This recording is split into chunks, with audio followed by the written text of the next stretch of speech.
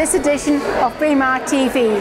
Here we are in the middle of the sixth annual Braemar Creative Arts Festival and we're here for the Festival Céilí in the Village Hall. In this edition we'll be hearing from Captain Alwyne Farquharson of Invercauld. But first, here's some news of the Hydro Scheme.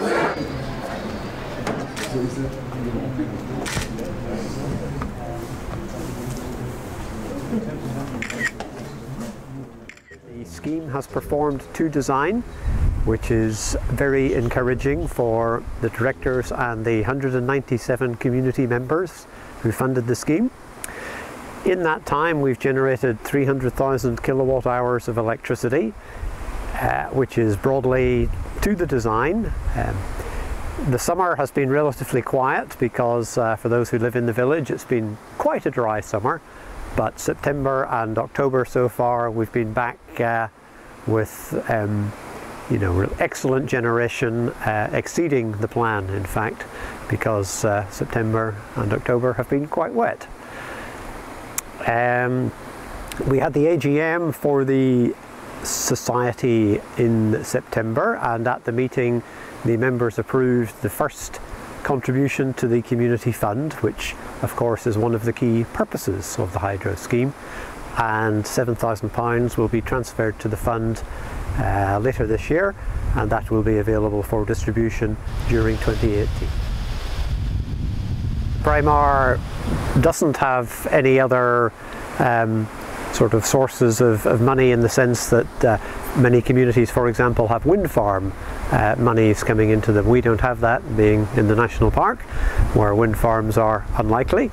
Uh, so the hydro is a, is a great benefit. £7,000 in some ways isn't a lot, but in other ways it's seed funding for, for uh, many other mechanisms to, to step that up and, and increase the community um, you know, benefit. We have a 40 year plan for the scheme. The first 20 years we have guaranteed uh, feed-in tariff revenue at, at, quite a high level which will support the ongoing community fund contributions over that period uh, and beyond. Um, to ensure good performance we've just instituted a community uh, volunteer rota so we have it um, hydro investors who, who live locally who've volunteered to take a week each every two months and keep an eye on the scheme. They can check it online every day, make sure it's running.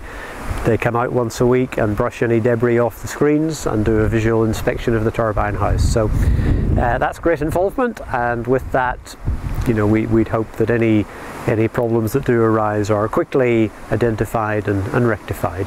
When the Duke of Rothesay was here uh, opening the scheme, um, he uh, expressed the view that he would like to put one on the on the River Muick that runs past his his house down the road.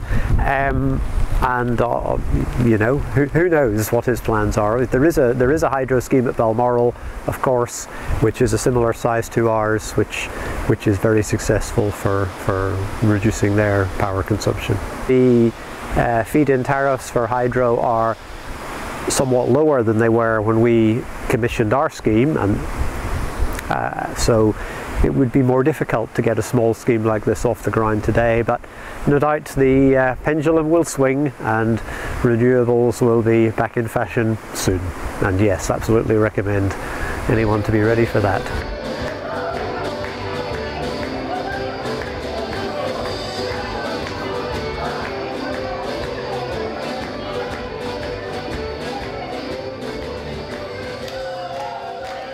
Your late wife was very keen on the Scandinavian. yes, she loved it here, and um, she did a lot uh, in, in the castle too. Um, as you know, she um, she liked um, shocking pink colours and this sort of thing.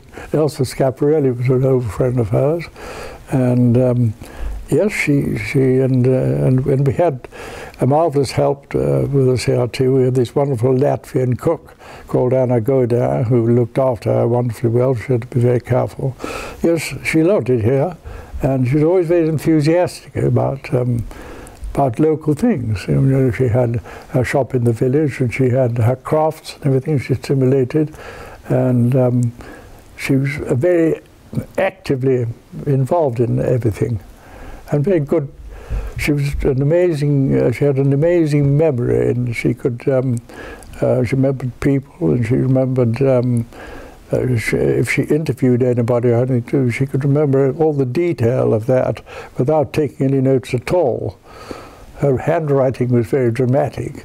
Um, um, you couldn't repeat it, and it was so dramatic. And I think, uh, yeah, you could have put it up on almost as wallpaper. but um, but she could. Her spelling wasn't too good, and her um, uh, commas and, and uh, punctuation was um, a little bit haphazard.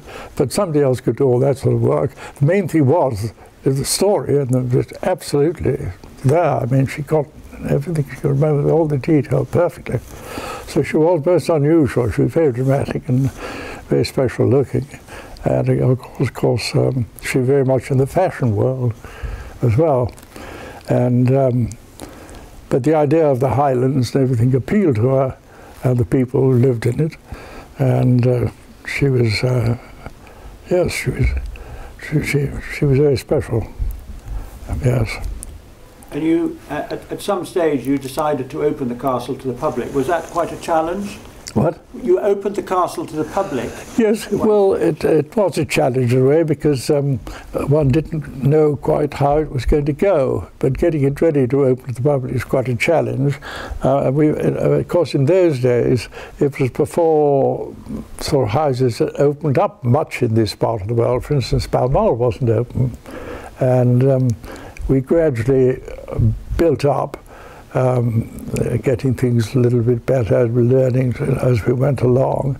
And I think we sort of got up to attendance figures of somewhere about 30,000 or slightly more, I can't remember. But then, as I say, Balmoral was, we were not competing with so many others at that time. Um, but um, it, it, it, it, um, it was, uh, at that moment, the tr trouble was um, you see, um, most of the um, moors and things in Invercauld were on, were on lease when I first came here to the royal family and so on. And we had to try and um, we didn't have, I didn't come into a great fortune, and, and a lot of improvements had to be done, in, not just in the, in the, big house, but in the cottages and all around.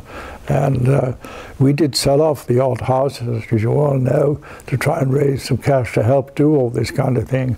But we had to make improvements, and um, so it, it was not easy. And then as as we didn't have uh, these uh, rich people taking a sort of an important looking place like Braemar Castle, they might want not just a castle but fishing or shooting or stalking or something, and uh, we didn't have a lot, so to speak, free to attach to a place like Braemar Castle. So it came to a moment when it wasn't too easy to get a tenant probably for the castle without attaching that sort of thing, which we needed to help us deal with Invercauld in the big house. So at that moment we began to think, well, what can we do? We'd better open it to the public. And that's how it really started. And um, uh, so, uh, yes, it, it was, uh, it, it's quite a challenge uh, to, to, get it off the ground for a start, but it, um, uh, and we, we began in a fairly fairly straightforward, simple way, and um, but gradually it, it, sort of got going, and now with the community involved and everything else. But I mean, as time goes by, what's going to happen next, and what you know we're going to have to sort of do in the way of repairs and, and maintenance and so on. As you can see, we look arrived today. yeah, repairs is, is obviously a big problem for us, and we're planning to replace all the Harling. Can you remember at any stage doing works to the Harling outside of the castle? No, I don't think we did very much. Um, I can't really remember very much going on. Never happened in your time, did it, when you were... No. Well, we did a few patches. What? Yeah, we did a few patches, but that was all. Yes, that's right, yeah. And then we ended up, I remember when I arrived, the, the, the rear quarters were all you know, they were letting water in, weren't they? That's right, yes. Because you See, had the Victorian bit. That's right, because we used the rear quarters for staff and that kind of thing when we were in residence here. Um, or for putting up um, staff in the summer when we had the castle open, like that. But um, yes, And another wonderful story I've always enjoyed is, is your Bentley. what about the bed? well, I remember it vividly, and, and Yeah, uh, yeah. I think you used to drive it to Crathie Church on a Sunday, didn't you? Yes, I did. Yes. Well, it was a lovely car. Lovely car. I had it for a very long time, and um, but in the end, um, uh, well, uh, I, I thought it, it was time, time uh, for it to go. So it went. But uh, yes, I, used to take it all over the place, Europe and everywhere when we went on holiday. Yes, it was a lovely car. Your late wife was very keen on, on the arts and, and fashion, and, and I think they opened up Yeah. the theatre. She did, yes. Um, yes, she did. And we had some wonderful shows there. Well, um, there were, there were, I suppose, there were too many churches in the village, really. Um, and this one um, was uh, surplus to requirements, put it that way. So what on earth can you do with the church? And um, well, of course, it was de, de what do you call it when uh, uh, Delisted, yeah, and deconsecrated. deconsecrated. That's right. And so then she already, I think, had got her her crafts going up in the hall and everything. What are we going to do with the church? So we thought to make it to a so-called theatre. And we, we had some, some really special shows. And, um, they went very well. And uh, she, uh, she, she was a great catalyst in, in getting people going and their eyes going. And she didn't, didn't actually, she didn't uh, draw or paint or act herself, but she stimulated others and she was very much in that world. And I mean, she was always dramatic in her, in her dress and um, uh, yes. And so the, the theatre that went went very well really, and it was it was it was appreciated. And you had a couple of shops, I think, didn't you? Yeah, she had um, she had the, the, the big hall, and then she had the, the, the little shop down down at the bottom here. They were sort of different in their approach. Uh, the bigger one, she could put on um, exhibitions or uh, we, weaving, or I don't know what she. I remember she had Japanese girls over once doing some things. She had all sorts of ideas, and. Um, and the smaller one down here was more uh, well it, uh, it it was it was local um, things um, dress dress and uh, tartness and all kinds of things uh, Did you ever commission any new works of art or from any of the artists she was working with? commissioned new Works work of art Theatre. um, for the th- or any productions for the theatre. um, I think she yes she I think she did once or twice she did Uh, I can't remember much about them now but she did have one or two performances local ones I'm sure she did And another wonderful part of life in Braemar is the Highland Gathering, and you must have been coming to that for a very long time. Well, I never came to it as a, as a child, but I, I suppose my first one was when I came up here after the war. Yes, I, I only missed one. Um, I missed one because I had um, a, a thread thing, or what are they called? Um, I can't remember. Laryngitis. What? Laryngitis. No, it wasn't laryngitis. uh, It was something. Anyway, um, I, I, I- couldn't go. I had temperature and I couldn't go. And that's the only one I missed. Well, well I've been to every one. Um, and the same thing with Ballater. I mean, I, I think I've been to about 70, something like that. Must be a record. I don't know. Uh, and then the, the, I think your wife commissioned the Son and Lumiere at, at, at the down at the theatre, a, a sound and light show, a Son and Lumiere. Son et Lumière. Yes, she did. We had a Son et Lu- Lumière here at the castle. That's right. Yes, which she did.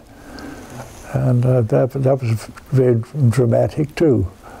Um, she always she had she had new ideas all the time, and um, uh, yes, I remember that quite well.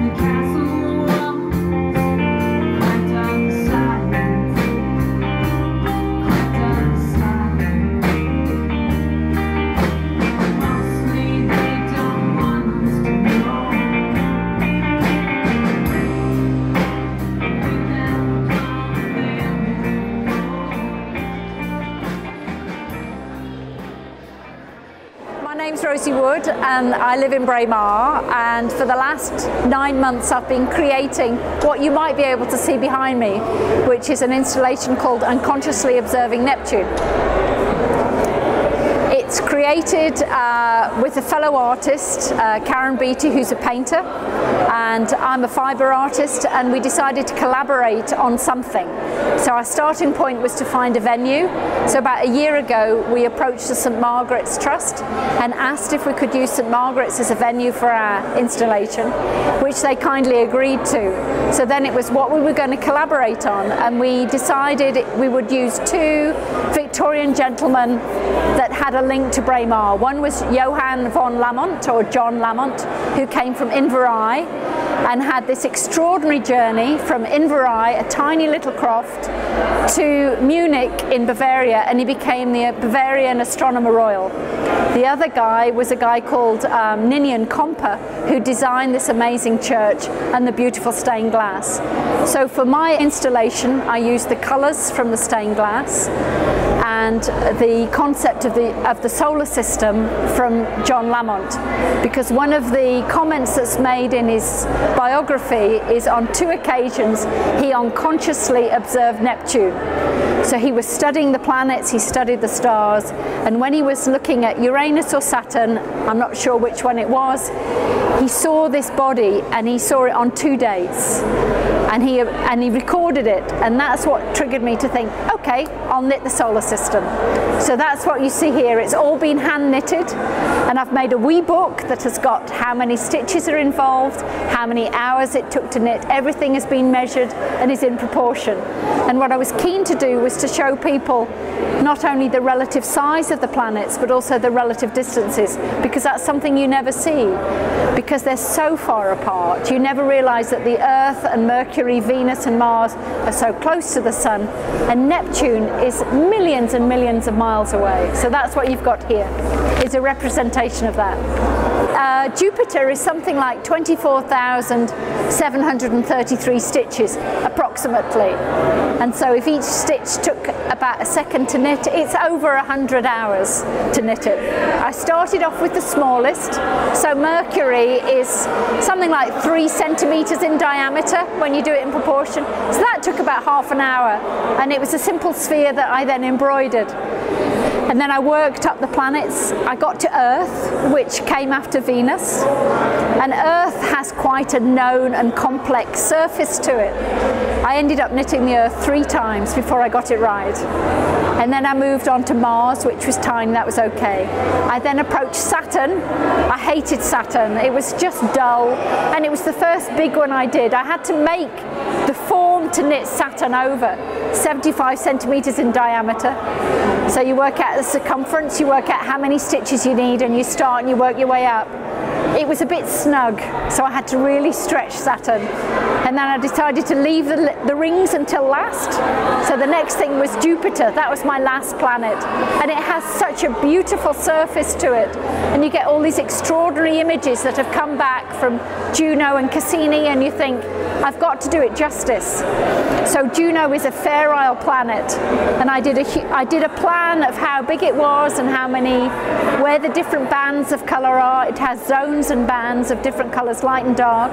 It's covered in storms, and you've got the red spot that's been raging. It's a storm that's been raging for about 300 years. So I knitted that almost like a Fair Isle jumper and worked my way up it. But that actually was easy compared to Saturn's rings that drove me demented because I had to work out how I was going to suspend them, how it was going to work. Because one of the rules I set myself was everything had to be hand knitted.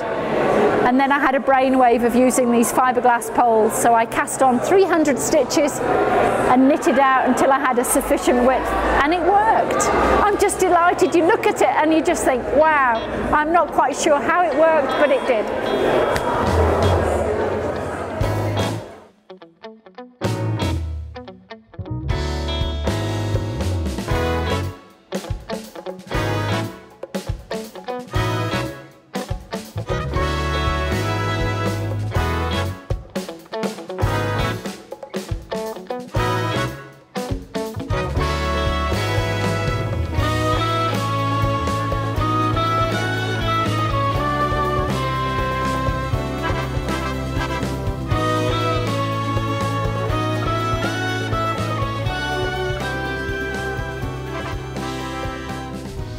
I'm Susie Farquharson. I'm the president of the newly formed Braemar Rural.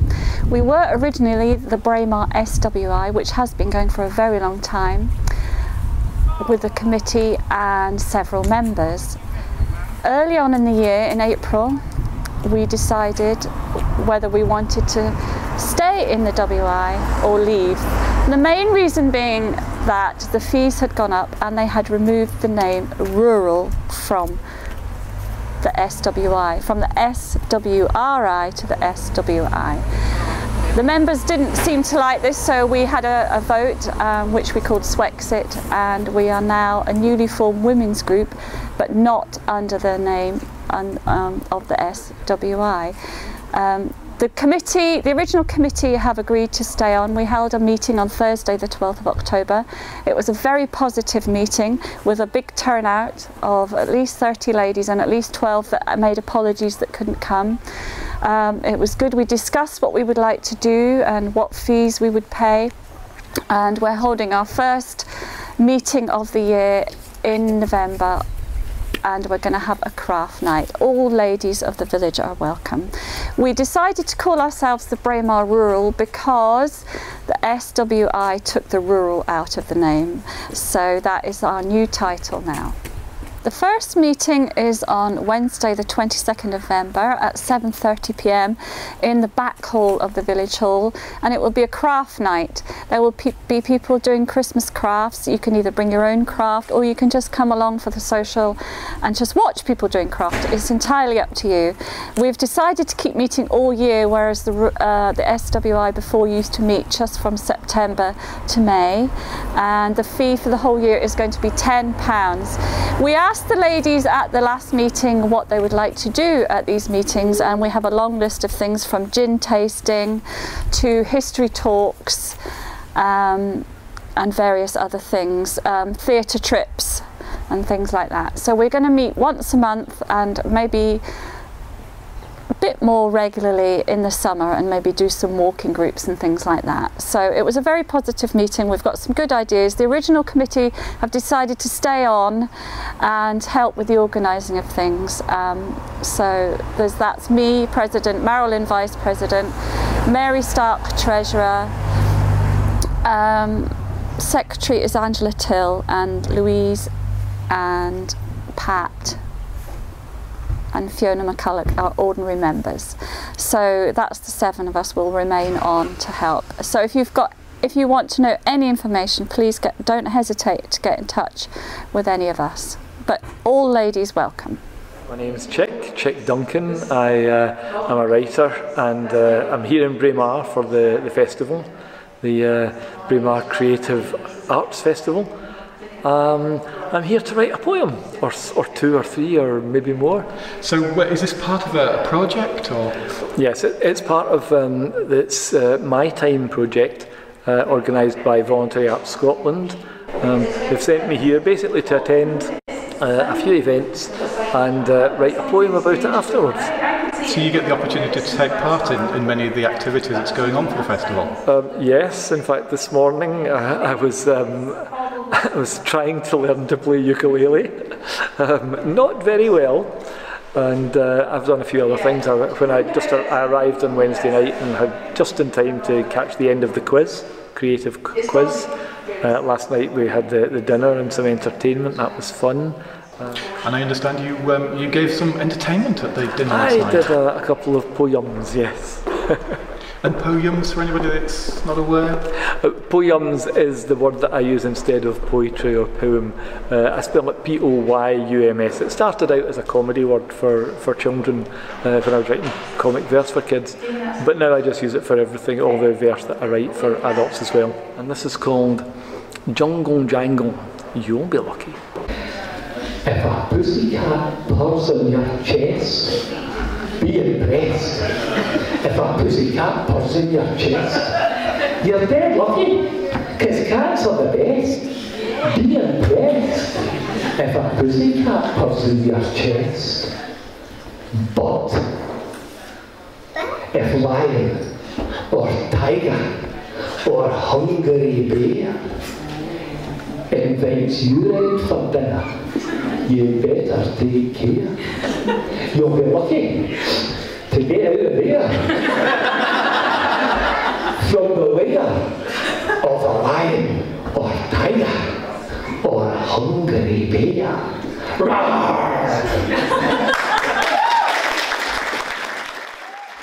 I'm loving it here, yes. It's really nice. I've met a lot of great people, the people who are running the B&B and who run the festival, same people. Um, they're, they're lovely and I I just, uh, yeah, I've met lots of friendly folk and uh, really enjoying the events.